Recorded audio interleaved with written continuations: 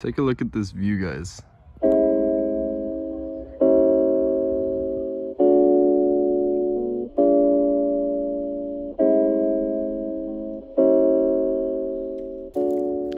Hey the guys, Balitorial here, and today I'm gonna be showing you guys how to spice up your thumb rollover. So, holy shit, that scared the absolute...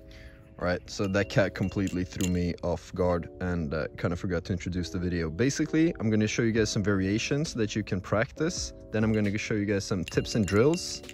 And uh, that's gonna be the video for today. Let's get right into it.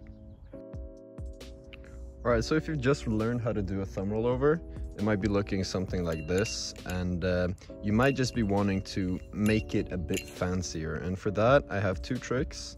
The first one being a handle switch like this. Nothing fancy, pretty easy really, slowly like that.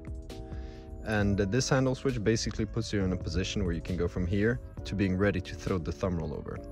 So right after this handle switch, I like to add another trick, which is called a whip uh, looks like that that's a whip rollover but basically after the handle switch you're gonna go down here and you're gonna throw it on the underneath you're gonna kind of throw it underneath and you're not gonna go over your thumb you're gonna go under your thumb and then once you go under you're gonna see the handle coming up here gonna let that go over your thumb and do your normal rollover so again to summarize go from here handle switch into here, throw it under and back over your thumb.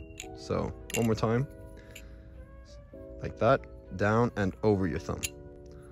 Yeah, I'll add in some slow-mos here and uh, that was the beginner part.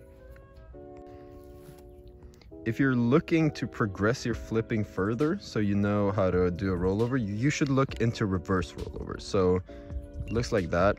Basically you just do the opposite of a rollover. So if you already know how to do a rollover just reverse the steps and you have a reverse rollover. In the same category as reverse rollovers i would say. That would have been a cut right there. Good thing it's a trainer in the same category as reverse rollovers you're want to practice zero g rollovers so um, rollovers that are like here so say here we're flipping right there that's a zero g right there.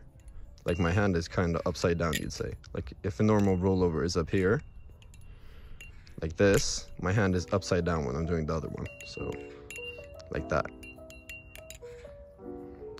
Yeah. Once you've got the reverse rollovers and kind of like zero G's down, you're gonna start to practice like open rolls. I think these are really fun and they're not really that much harder, but they're also not that useful in normal tricks. So I'd say learn the zero Gs, learn the reverse rolls, and then start practicing that.